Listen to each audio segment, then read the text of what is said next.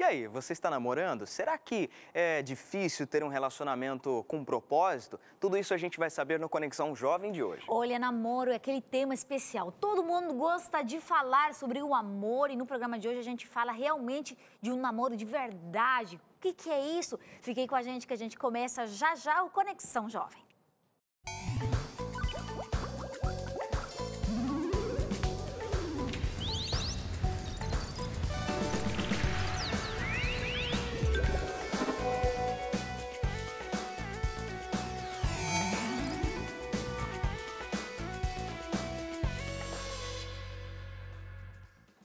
Começamos já mais um Conexão Jovem. Você está aqui conectado com a gente pela sua TV Novo Tempo, quem sabe está assistindo lá no nosso canal do YouTube. Aparece já agora na sua tela. Se você quiser também compartilhar com algum amigo. Hoje o tema Tema importante, a gente vai falar sobre o amor e mais especificamente sobre namoro. E aí, Alessandro, é gosta é do tema? O tema é muito importante, principalmente para você que está assistindo agora, porque se você está sozinho, está procurando alguém, nós somos a solução hoje, né? No Conexão Jovem. Se você já tem alguém, que tal é, conhecer um tipo de namoro, dessa vez com propósito, não é verdade? Gianina, nós temos um convidado muito especial, mas antes eu queria convidar o pessoal para interagir com a gente, porque afinal de contas a gente quer saber o que, que o pessoal pensa a respeito de relacionamento.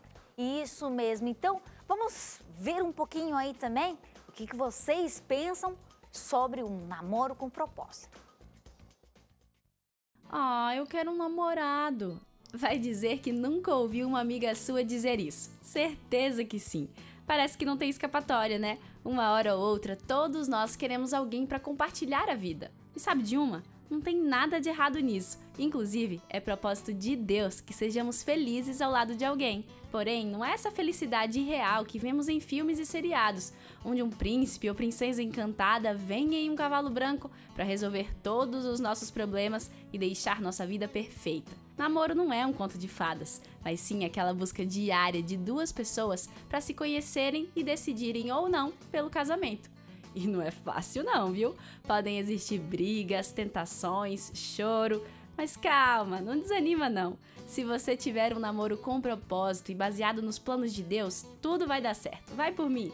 E pensando em te dar uma mãozinha ou ajudar aquele seu amigo que acha que não tem tampa para sua panela porque se sente uma frigideira, o Conexão de hoje é para você. Vem com a gente aprender a ter um relacionamento saudável e aprovado pelo céu. Pois é, somos bombardeados com vários tipos ou conceitos, quem sabe, de amor. Mas quando falamos de um namoro com propósito, de construir esse relacionamento real, esse amor verdadeiro que vai, né, a virar um casamento, uma família e vai pela, viver pela eternidade, um amor de verdade, a gente tem que sim conhecer um pouquinho mais e falar um pouquinho mais sobre esse tema. E hoje temos aqui conosco o Júnior. Ele tem um movimento cristão muito forte é lá nas redes sociais, um namoro com o propósito. Aproveitando, se vocês quiserem seguir lá, ele nas redes sociais, no Insta, tá? Arroba namoro com propósito aí. Tem dicas, né, Júnior? Tem várias coisas aí bem legais, né? Tudo bem? Tudo bem, Janina. É um prazer estar aqui com vocês. Alessandro, um prazer. Tem sim, tem várias dicas. Todos os dias nós postamos dicas, versículos bíblicos, frases, textos, vídeos para poder abençoar a galera, né? Conta um pouquinho para a gente como começou esse seu ministério aí com, com namoro, né? Focado no namoro e tantos jovens que esse assunto de namoro tá é o mais importante na mente, né? É assim, a galera anda até um pouco ansiosa, né, por essa questão da vida. Bom, o namoro com propósito, ele surge a partir do meu testemunho com a minha esposa, né? Eu estava meio perdido no mundo na minha adolescência, quando eu me converto, volto para a casa do Senhor, eu encontro uma moça que diz para mim que orava por mim há dois anos. E eu nunca tinha visto ela na vida. Ela ah, passava por uma praça onde eu ficava e ela me viu e Deus mandou ela orar por mim. E aí, de repente eu chego, ela compartilha isso comigo. Olha, eu oro por você há dois anos. Aquilo despertou algo no meu coração, né? Uhum. E eu me interessei por ela, pedi ela em namoro e ela me apresentou uma nova proposta de namoro, diferente de tudo que eu tinha visto até então, né? Um, relacionamento de oração, de amizade, antes da intimidade física. Bom, e aí a gente desenvolveu esse relacionamento e mais tarde nós decidimos compartilhar um pouco disso com os jovens da nossa igreja. nós identificamos uma necessidade do jovem aprender sobre essa área tão importante da vida. Compartilhamos, alguém gravou, colocou nas redes sociais e aí a gente começou a alcançar muitas pessoas, né? Que legal. é, o que a gente queria entender, assim, é, é, porque hoje o conceito que o mundo tem de relacionamento é um conceito muitas vezes baseado em filmes, baseado em séries. É, as próprias redes sociais acabam, acabam trazendo um, um viés, assim, pra gente de que relacionamento é algo fácil e que é descartável. Qual que é o, o, a ideia que você tem com esse, esse projeto que vocês têm, que é o namoro com propósito? Sim, é, realmente existe aí uma certa mistificação do tema, né? As pessoas elas pensam que vai ser sempre legal. E eu falo que não, namoro não é como você é, dar uma volta numa tarde de sol. Relacionamento não é como você pegar alguém para dar uma volta na tarde, numa tarde de sol. Tem momentos difíceis, tem momentos de tempestade, momentos de tempo nublado. E uma pessoa só deve começar um relacionamento quando ela estiver tão preparada para os dias difíceis como ela está animada para os dias de sol, né? Para os passeios, para a vida dois. Então nós precisamos precisamos conscientizar o jovem de que namoro não é só ter um relacionamento legal, envolve responsabilidade, envolve uma decisão que pode transformar a vida da pessoa a longo prazo, lá no futuro. Uhum. Eu falava com você antes de começar o programa sobre nenhum namoro, nenhum casamento começou assim, quer casar comigo? Não, começou de um beijo começou de, de um namoro, noivado. Né? Então, é, é, uma decisão muito importante que o jovem deve tomar e ele não pode tomar essa decisão baseado nos conceitos que a televisão tem apresentado. Né? É, ela deve tomar essa decisão sabendo é, da importância dessa decisão e de como isso vai afetar o futuro dele lá na frente. Mas alguém pode falar, Júnior, que pensar assim num namoro com, com propósito, um namoro que tenha isso, isso, isso ou aquilo pode ser um pouquinho muito racional.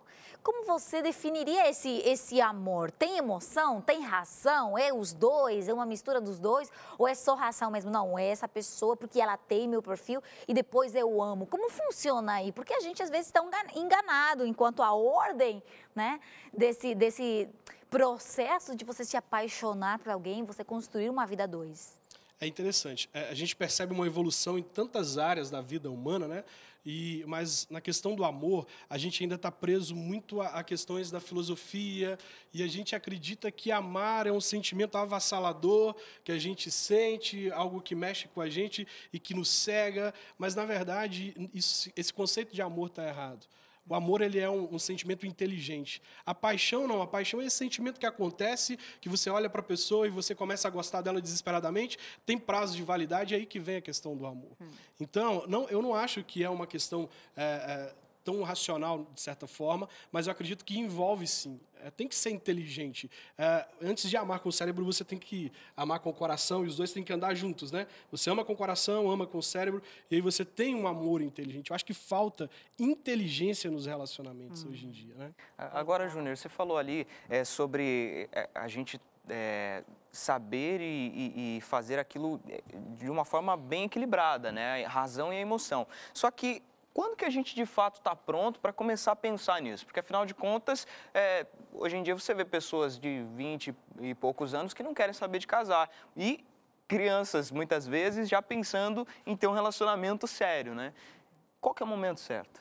Bom, é, é uma pergunta que muitos jovens me fazem sobre qual é o momento certo, quando começar a namorar. E eu penso assim que uma idade para a pessoa começar a pensar em, namoro é a partir dos 16 anos. Uhum. Por quê? A partir dos 16 anos você já está começando a lidar com escolhas importantes da sua vida. A pessoa acabou de sair ali do ensino médio, está começando a pensar na faculdade, na carreira dela. Ora, uhum. se ela tem condições de escolher uh, em que ela vai investir a vida em termos profissional, que é uma decisão muito importante, que vai trazer sentido, realização para a nossa vida ao longo de toda a nossa história, ela também já está preparada para começar a pensar quem é que eu vou trazer para a minha vida? Quem vai escrever essa história comigo? Né? Então, eu acredito que a partir dos 16 anos. É claro que não é uma, uma receita pronta. Nem todo mundo que tem 16 anos está pronto para poder namorar. Né? Mas é uma idade que a pessoa já pode começar a pensar nisso. Eu penso que é a partir dos 16 anos. Agora, a gente está falando aí de uma decisão inteligente também. né?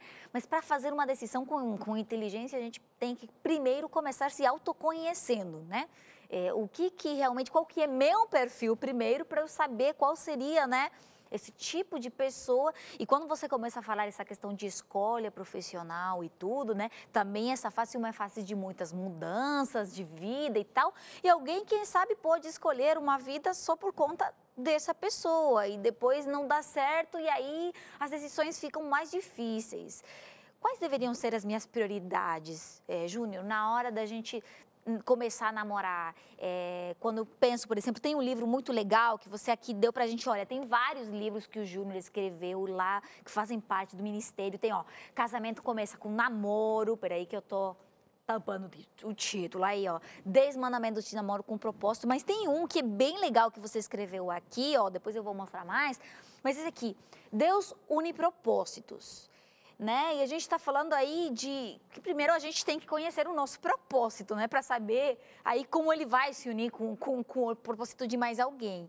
O que, que você pensa? O que, que se você puder falar um pouquinho para a gente sobre o que, que diz nesse livro sobre essa questão de unir propósitos?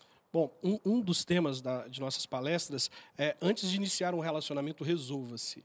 Uh, eu acredito que é muito importante você se conhecer, você já tratar algumas áreas da sua vida antes de entrar em um relacionamento. E, e, nessa palestra a gente fala também sobre ser capaz de sustentar a relação, né? As pessoas elas querem começar um relacionamento, mas nem sempre elas são capazes de sustentar a relação.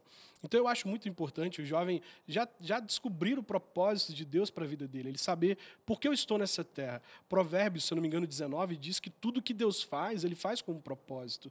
E não seria diferente conosco. Deus nos criou com um propósito. Nós precisamos descobrir esse propósito para que nós nos possamos nos tornar pessoas realizadas na vida. Uhum. Até porque você nunca vai ser uma pessoa realizada enquanto você não estiver no centro da vontade de Deus, fazendo o que Deus te trouxe a este mundo para fazer. E aí, quando você descobre o seu propósito, você vai estar mais preparada, por exemplo, para aceitar uma proposta de namoro. Você vai procurar alguém que tem um propósito parecido. Imagina você fazer o que você nasceu para fazer ao lado de quem você ama. Agora, você não saber o seu propósito é perigoso, porque você pode entrar em um namoro com alguém que tem um propósito diferente. Imagina, cara, você construir um relacionamento ao lado de uma pessoa, ali durante muito tempo, investir, sonhar, planejar, e de repente você descobrir que a vida de vocês leva a caminhos diferentes, né? Você vai para um lado, a pessoa vai para o outro. Então, por isso é importante você resolver com respeito à sua missão nessa terra. Deus me trouxe aqui para quê? Eu descubro isso, para que aí sim eu esteja preparado para iniciar um relacionamento. É muito importante, né? Muito importante. Júnior, é, agora você falou assim é, sobre, sobre, bastante sobre propósitos. Só que e quando eu olho para alguém, percebo que a pessoa, nossa, é, é do jeito que eu queria, mas quando as outras pessoas chegam lá e falam, ó, aquele cara não é legal, aquela menina não é legal. Como é que a gente deve lidar com esse tipo de situação, Júnior? É aí que entra o amor inteligente. O amor inteligente, ele sabe identificar pessoas que me querem bem, né? E eu não posso abrir mão de pessoas que construíram a minha história comigo para poder estar ao lado de alguém. Eu não posso fazer isso. Eu tenho que honrar as pessoas que estiveram comigo. Então, digamos que é, eu esteja muito interessado em alguém, eu queira construir a vida ao lado de alguém, mas pessoas que me amam, que se importam comigo, estão enxergando coisas nessa pessoa que eu ainda não enxerguei, estão tentando me alertar sobre algo. No mínimo, eu deveria orar e considerar o que essa pessoa está dizendo, passar a observar, porque às vezes as pessoas que nos amam também podem estar erradas. Pessoas boas também erram, né? Às vezes pode ser um preconceito, pode ser ah, algo que ela ah, identificou, mas não era bem aquilo. Uhum. Mas nós precisamos orar e observar ah, de forma inteligente para saber se procede. Porque se a pessoa me ama, identificou algo em alguém que pode me fazer mal, poxa, eu devo levar isso em conta, né? Uhum. E como eu encaro, Júnior, a gente tem poucos minutinhos aqui, mas vamos abrir esse assunto. Como eu encaro, por exemplo, essa conversa? Porque alguém pode estar aqui assistindo o programa, está namorando já, mas o negócio tá, não está muito claro enquanto propósitos ainda. Como eu encaro essa conversa sem assustar a outra pessoa, né? Tipo, eu, não necessariamente falar de casamento, quem sabe, mas pelo menos começar a ver os propósitos de cada um. É, é, é interessante você identificar se a pessoa que está ao seu lado, ela está com você pensando em um momento, é uma pessoa que está ali só aproveitando o momento.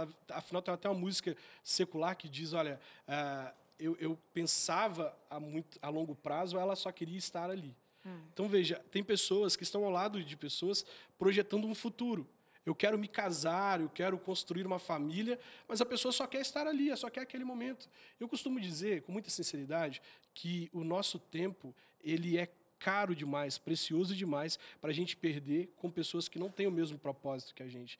Então, por mais que, que as pessoas podem até achar um pouco radical isso, mas, cara, já parou para pensar que a vida ela dura pouco? É uma só e você tem sonhos, você tem planos, e você está ao lado de alguém que não tem os mesmos planos, os mesmos sonhos. Por isso eu desejo, assim, de todo coração para os nossos telespectadores, que eles encontrem alguém que coloque eles nos planos deles, para que eles uhum. sintam o quanto é bom você estar seguro ao lado de alguém. Encontra alguém que sonha com eles, que planeja com eles, que deseja construir a vida com eles, e não alguém que quer um momento, não alguém que quer ah, alguns meses, um ano. Não, eu quero você do meu lado para construir a minha vida com você. Por isso é importante ter essa conversa. E aí, você está comigo por quanto tempo? Eu, eu, eu preparo a minha vida para você ficar ou eu preparo a minha vida para você passar? Né? Uhum. E, e, eu até digo aos jovens: olha, procure alguém que queira ficar, não que seja de passagem, porque a nossa vida dura pouco demais. Uhum. Salomão vai dizer isso em Eclesiastes. Ela dura pouco demais para a gente perder o nosso tempo. Olha que interessante essa frase aí. Ficou para você lembrar, né? A gente vai agora num breve intervalo. Você já fica com essa frase na cabeça, vai pensando aí se isso não tem a ver com o que você está vivendo nesse momento da sua vida. Aproveita aí também, segue o nosso programa nas redes sociais. Estão aparecendo agora na sua tela, no Facebook, no Insta também, ali, arroba PG Conexão. E também aproveita o YouTube. O YouTube, os programas ficam ali gravados e, na verdade, né, Alessandro, uhum. é, vocês têm a primícia pelo YouTube, né? É verdade. O primeiro programa sai no YouTube na sexta-feira ali, no finalzinho da tarde. Então você confere em primeira mão o que acontece aqui no Conexão Jovem. Isso, aí fica o convite. Se você perdeu, não está assistindo lá pelo YouTube, você pode assistir lá também. Ou quem sabe agora compartilhar esse programa com algum amigo que com certeza pode aproveitar os conselhos aqui bem cheios de sabedoria do Júnior. Agora a gente vai um breve intervalo então, em uns minutinhos já estamos de volta e continuamos com essa conversa muito interessante.